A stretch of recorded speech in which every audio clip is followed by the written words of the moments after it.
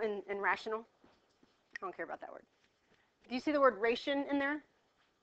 Yeah, I don't care about that word either. You see the word ratio? Ratio is your clue to what kind of functions these are. So in mathematics, a ratio is kind of like when we say sometimes, you know, you need you need it in a ratio of two to three. Okay, um, and we write it like that a lot of times with a colon, but we can also write it like this is the same, and this is a fraction. So whenever you see that word rational, rational functions, rational equations, or anything like that, it means you're dealing with stuff that's in the form of a fraction. But that's not actually the whole picture, because um, a regular number can be a fraction, but it, we wouldn't call it a rational expression or function or equation. The thing that makes it special is that not only is it a fraction, but the bottom has a variable in it somewhere, at least one. So both of these have x's in the denominator. And so this is two new parent functions that we're adding on to the stuff we talked about last semester. So last semester we had parent functions like x, x squared, x cubed, square root, cube root, and we had absolute value. So these are just two more of those. Where they're different is a few places. Um, one, it's written like a fraction, has a variable in the bottom. Two, how many pieces do each of those graphs have? Two, right? Two parts. Um, our graphs last semester all just had one continuous piece to them. This has two different ones. Uh, one reason for that is because once you get that x in the bottom, you run the risk of x being equal to 0. Now, 0 is really bad in the bottom because it's undefined. Because, like, if you go back to your fractions from elementary school, they're having way too much um, like when you start with pizzas, right? Your teacher will say, imagine you have one whole pizza. And then you're going to cut it into five pieces. Now you have one fifth, two fifths, three fifths, four, whatever. Right? Um, you can cut it into six pieces, right? One over six. You cut it into seven pieces, one over seven. What you can't do is cut it into no pieces.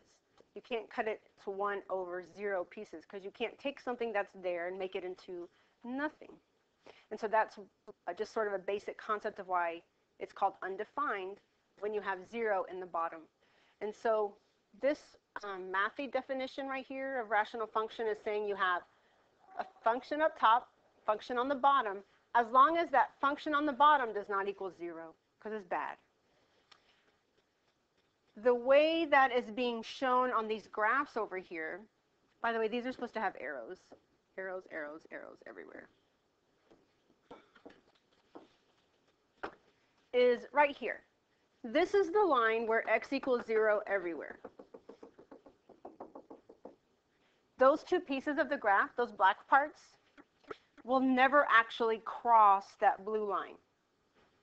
And that's your picture representation of the fact that the denominator, the x value, will never be 0. Same thing over here. Here's where x equals 0.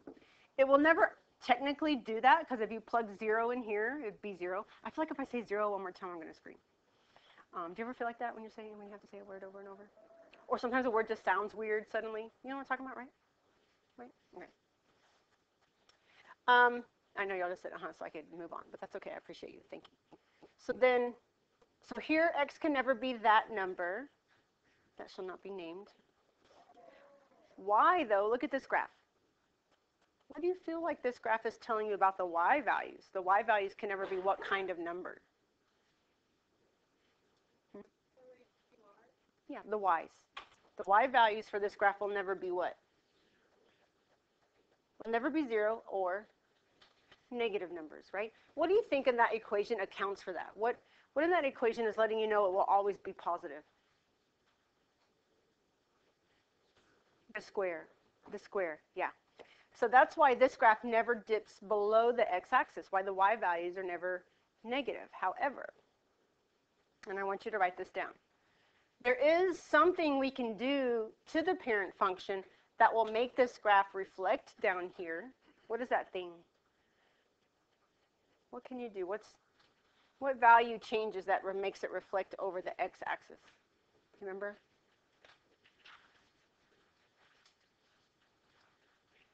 Was your winter break too long? Remember how to make a graph reflect over? Do you want me to just tell you? The a value, right?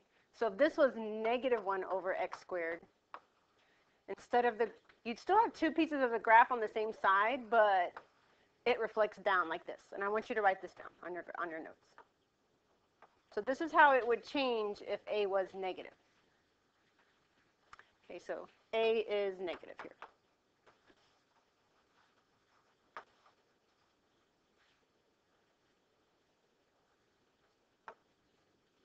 And on this one, if a was negative and we had negative 1 over x instead, this left piece would flip up, would reflect over and be up here. And this right side would reflect down and be in the lower quadrant. Okay, so that's how it would look different if A was negative. And that's something you want to keep in mind later in the lesson when we're writing the equation for the graphs. All right, so next part. We are going to talk about end behavior, which is something we did last semester. So this is a reminder of what end behavior means. It's how the y values behave as the x values go out to the ends, to positive and negative infinity. And we talked about that last semester. But we also have a second thing to talk about today because the graph has two parts. We can talk about how the graph behaves as it goes out to the ends, so as it goes out, but we can also talk about how it behaves as it comes in, like to this blue line right here. What is it doing as it gets closer and closer to here? So now we have two things to talk about because there's two different parts. Um, and we're going to talk about them one at a time. This piece of information here is for end behavior, going out. This piece right here is for the information when we're coming in. So one's going out to the sides, one's coming into the middle.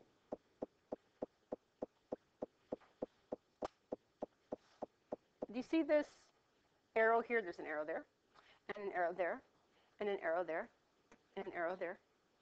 I need you to write something down about all those arrows. That arrow stands for the word approaches.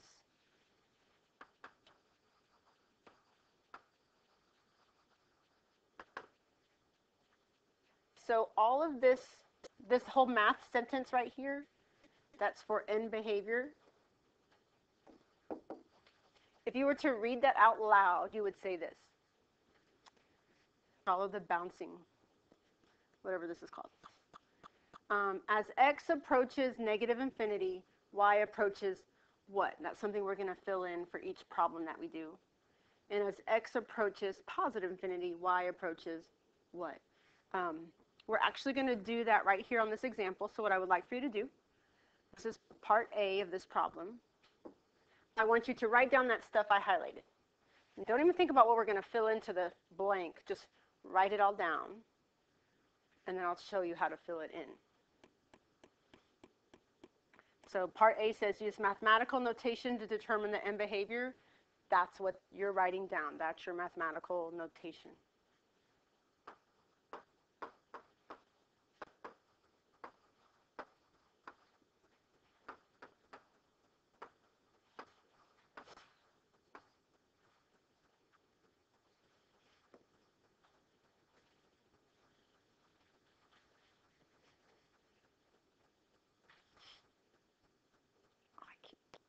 keep looking at that clock. That clock's busted, by the way. And I look at it every few minutes and remind myself that it's busted. So before I tell you how to do that, what's the parent function here? Is it 1 over x squared or is it 1 over x? 1 over x, because they're in different directions. Um, it really has arrows here. It just didn't get printed on there. This is a shifted function. Which way has it shifted, do you feel? Which directions? To the left and, and up, right? So I want you to think about where the new origin is, the shifted origin. It's kind of like the x-axis came up here, and the y-axis shifted over here. Now, this horizontal line right here, you can write as an equation like this, y equals 2. Now, it feels like it's like x values, right? Because you're going left to right. But think about what I wrote here. This is the line where y equals 2 everywhere, right? That The x is changing, but the y is constant. So we can say, okay, y equals 2. That's that line right there. Similarly, what do you think I can write for this vertical line? It wouldn't be y equals negative 3. It would be what? x equals negative 3. So this line right here is where x equals negative 3 everywhere. So I want you to keep that in mind here. So now let's talk about this notation. So it says, so we're doing end behavior here, meaning as the graph is going out to positive and negative infinity. So as x goes out to negative infinity, I want you to sort of follow my what I'm talking about. So out to negative infinity means I need to look at the left piece of the graph because that's going out this direction. Um, and to say x is going to negative infinity means it's going to the left. Like, here's where x is negative 4. Here's the y value that corresponds to that. Good? And if I go more to the left, out towards negative infinity, here's the y value that goes with that. And if I go left again, here's the y value. And what's going to happen is as I keep going out to negative infinity, the y values get closer and closer to this line. Well, so that means y is approaching what value? The y's. y is getting closer and closer to what? What's y here? 2. So the y's are approaching 2, approaching 2, approaching 2. Never actually going to get there, but it's approaching it. So as x goes this way, and so another way of thinking about the y values is the graph. The actual graph itself, the black part, is what the y, is the behavior of the y's. It's getting closer and closer to 2 as x goes that way. And then same thing on the right side. As x approaches positive infinity, so just start somewhere. Here's your here's where x is 0, x is 1, 2, 3. What y value is it approaching as x goes out this way? 2 again. Same. Okay. That's what makes this line something we call an asymptote. Because in as the end behavior is going out positive and negative infinity, it's approaching the same number. That makes it an asymptote. I just repeated myself. All right, so that's what the graph is doing as we go out. If we're not going out, what's the other direction we can go? In. And so that's this next round of notations right here, the second thing that I highlighted. Um, the C stands for some specific value. In this particular problem right here, it's the x equals negative 3. So it's coming in, it's approaching this specific value of negative 3. But this is a general form, so instead of a negative 3, it has c to just represent any number at all. It's a variable. But there's a new notation up here. It still has the arrows for approaches, but now this number here, the c, it looks like it has a negative for an exponent. This one looks like it has a positive for an exponent. But they're not actually exponents, okay? They're not powers. It's just a symbol, it's just a way of writing a certain concept. This one, this, that looks like negative, means from the left. And I'll show you that in just a second. And if negative means from the left, what do you think positive means? From the right, yeah. So this plus sign means from the right.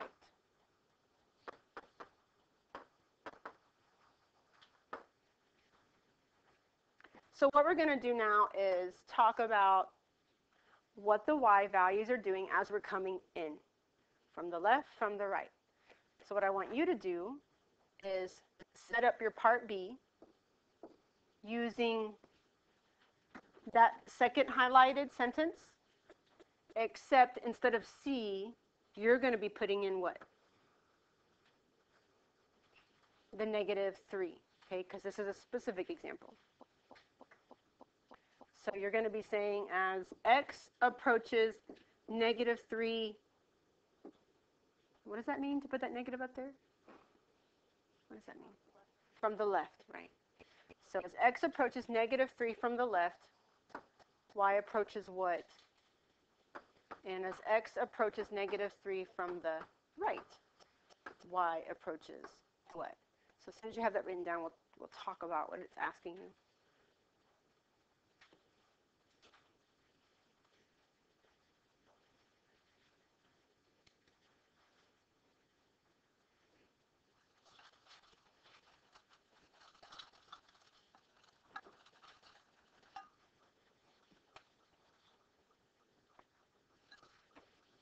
Okay, so end behavior is what are the black parts of the graph, bless you, doing as you go out. This is what happens as x approaches negative 3. So how are the black parts of the graph behaving as we come in to this line x equals negative 3? So as we come from negative, as we get to negative 3 from the left, bless you, here's what that means. x is coming in from the left, coming in this way. So let me get a different. So for, so here's here's the y value or the part of the graph where x is negative 5. And then here's where it's negative 4.5. And then here's where it's negative 4, et cetera, et cetera. It's getting closer and closer to negative 3. Like here's negative 3 and a half. It's never going to actually approach negative 3, but what is y doing as x gets closer and closer to there? Where's it going?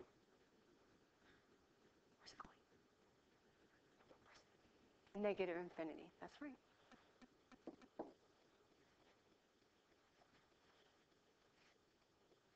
So as the x values are getting closer to negative 3, the corresponding y values are decreasing. So that's going to negative 3 from the left. So if we're going to negative 3 from the right, so now I'm on the right of negative 3, I'm going to get closer and closer and closer to negative 3. Um, x equals negative, what is this, 1. Here's the y value that corresponds. Here's the y value that corresponds to negative 2, negative 2.5, negative 2 point whatever, negative 2.89, I don't know. Where's it going to go? Where's it going forever? The y value. Up, right? Positive infinity. Okay. So as the graph goes out, y approaches 2. As the graph goes in, it approaches negative and positive infinity. You're going to try this all on your own on the next problem on the back. Um, I'm not going to put that problem up here yet because I'm going to leave the highlighted stuff up here so you can see it because otherwise you'll be flipping back and forth. So take a minute. You are doing the example problem on the back by yourself for just a moment. If you don't die first, because you all look almost near dead.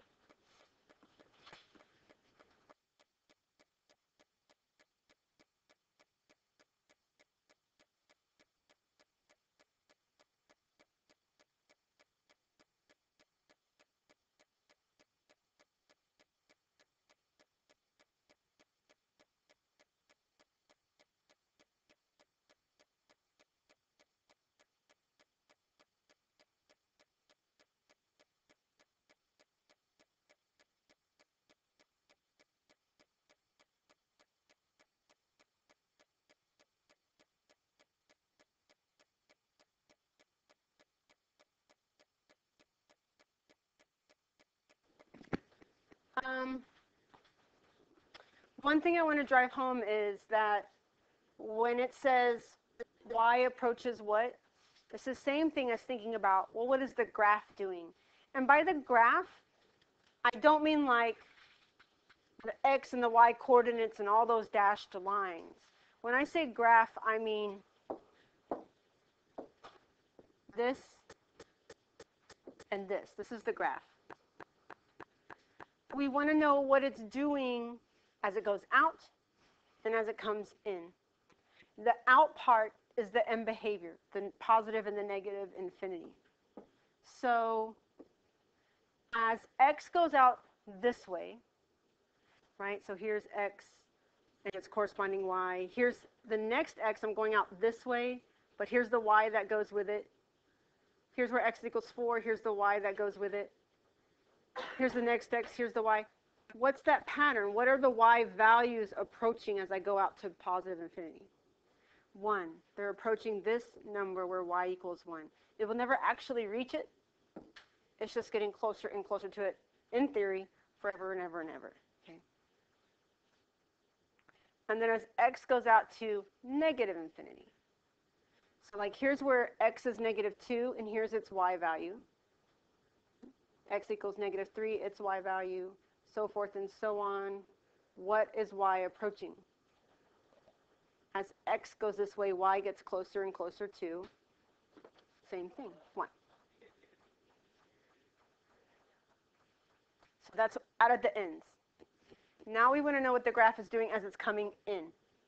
And it's coming in to this line right here, because there's two different parts.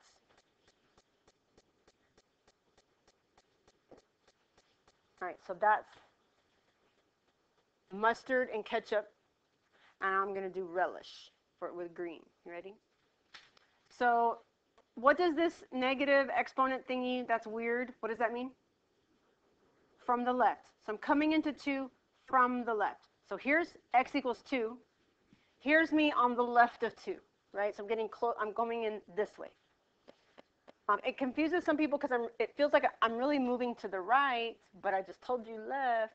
I'm coming from the left, okay? So as x is going this way, so here's negative 3, here's the y. Here's where x is negative 2, there's the y, negative 1. Um, here's where x is 0, x is 1. So x's are getting closer and closer to where x equals 2. Where are the y's going? Where are they going? Where's that? That hell? No, right? I mean, maybe for some of us that are stuck in, don't want to be in class. But that is called, down forever is called negative infinity. Thank you. And then we want to know what is y doing when we come to 2 from the right? What is the graph doing there? Also not hell, negative infinity.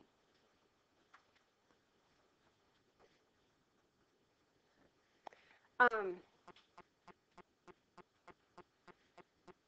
read the directions to this problem. The, everything changes here. We're doing a completely new thing, and I want you to read it and get your mind wrapped around it for a second. So read the instructions to that next example.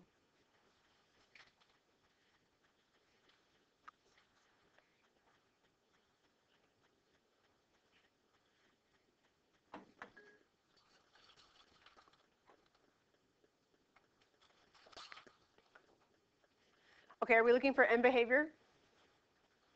Are we coming into a number? Is that what's asking me to do? what what is this asking me to find? Like what kind of answer are we looking for? What form?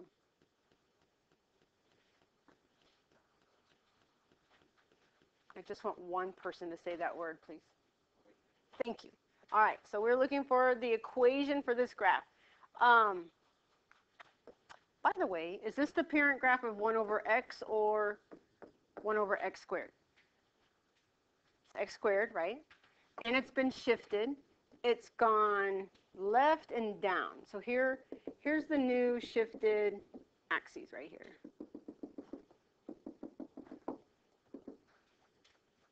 And we want to write the equation for it. So what I'm about to give you, and I want you to write these down, are, excuse me, the general forms for the shifted equations. So this is an HK form. If your problem is a 1 over x problem. The general form that you're going to use for that is this. 1 over x minus h plus k. So it's still the horizontal shift is still insiders lie with the x, and the vertical shift is still just out on the right hand side, not attached to anything. Okay, just like the stuff we did last semester. Um, if your problem is a 1 over x squared, it's this exact same thing, only your x minus h is parentheses squared. Okay, still insiders lie for the horizontal shift. And the vertical shift is out on the right all by itself because it's an introvert and it needs to be alone to recharge. So what we have to do here is use the correct general form, plug in the specific information from the problem, and then go about our merry way. We already said that we're going to use the 1 over x squared form, so that's this one. The next thing we have to do is figure out, well, where is my h and k going to come from? And I was going to ask you to see what you might come up with, but um, I don't think you want me to do that. So I'm just going to tell you. I think that's what you want me to do. That's the vibe that I'm getting from you all today. The HK comes from the shifted origin.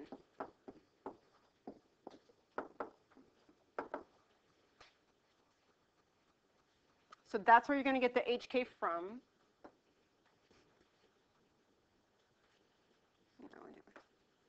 So here's the shifted origin here. The coordinates are negative 2, negative 2.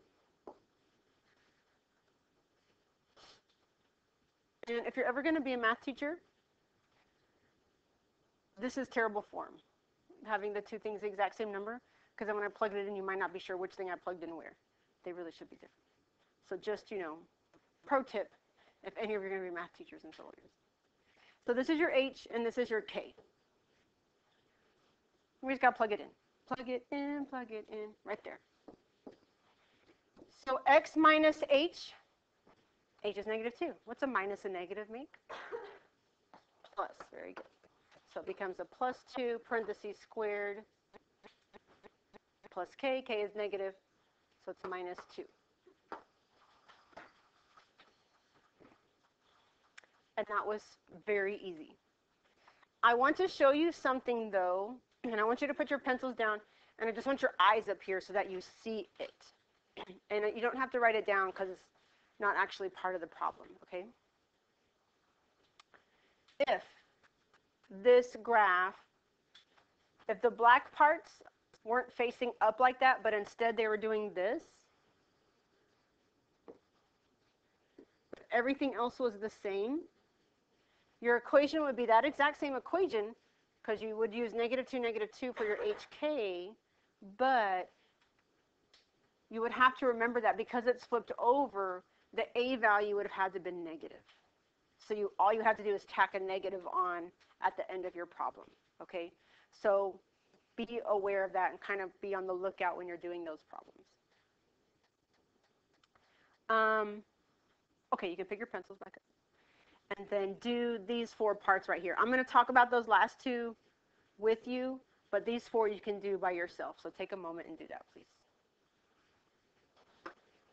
All right, real quickly.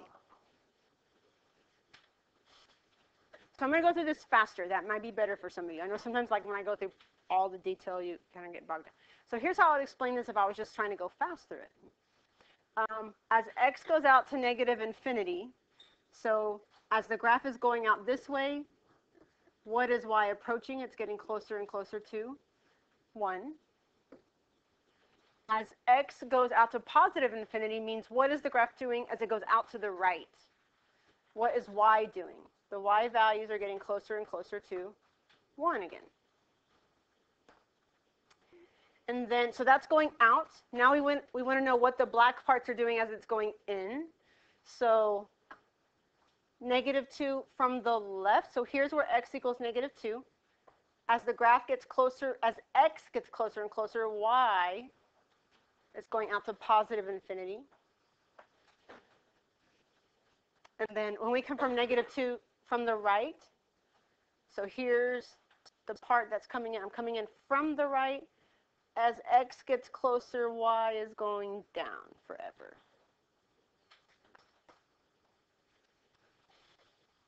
Oh, and those last two, blah. Um, the line x equals negative 2, which is this, is a vertical asymptote, which it is, because it's running vertical. It's an asymptote because the graph will never reach it. Because as x approaches negative 2, y approaches positive negative infinity. So that's what goes there. And then the line y equals 1, hold tight, I'm almost done, is a horizontal asymptote because as x goes to positive and negative infinity, the end behavior, y approaches the exact same value, which is 1. Now, you know how you do that thing when I give you your homework and you, you, put, you pack it away and you get your phone out?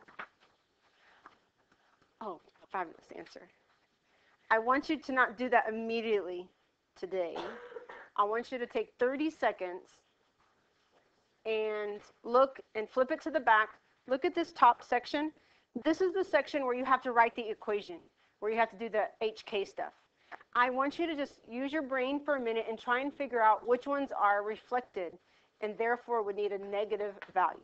I'm not even asking you to do them right now. I just want you to think about that because I hope that later when you have a quiz or test, just going through that process for a moment will help um, you know, trigger your memory later to think about that as well.